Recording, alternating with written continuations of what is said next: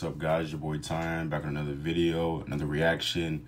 Uh, we got Thor: Love and Thunder trailer. Um, I didn't wasn't able to react to the first one because I just didn't get to do it in time. But this is the new trailer. Uh, let's get into it. Kids, get your popcorn out. Let me tell you the story of the space Viking, Thor Odinson. He was no ordinary man.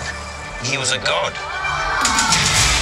After saving planet Earth for the 500th time, Thor set off on a new journey. When he got in shape, he went from dad bod to god bod. And after all that, he reclaimed his title as the one and only Thor. Oh, spoke too soon. Jane?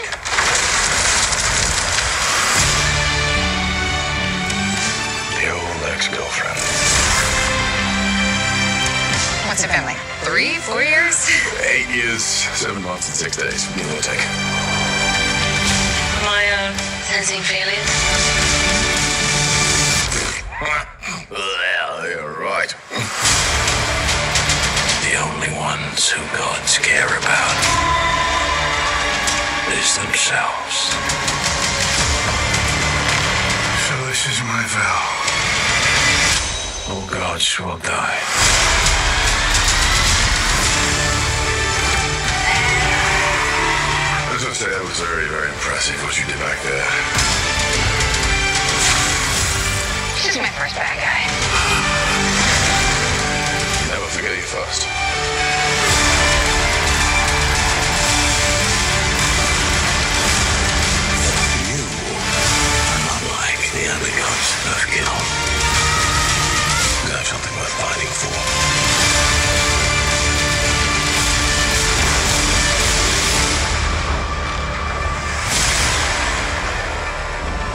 Let's see who you are.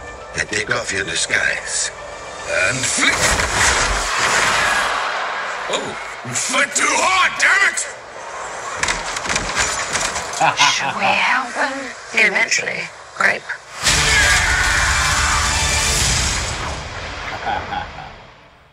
Fuck Thor! God damn, Chris Hemsworth. Like th- this might be the swollest he's ever been for playing Thor. Like God damn, that nigga is ripped.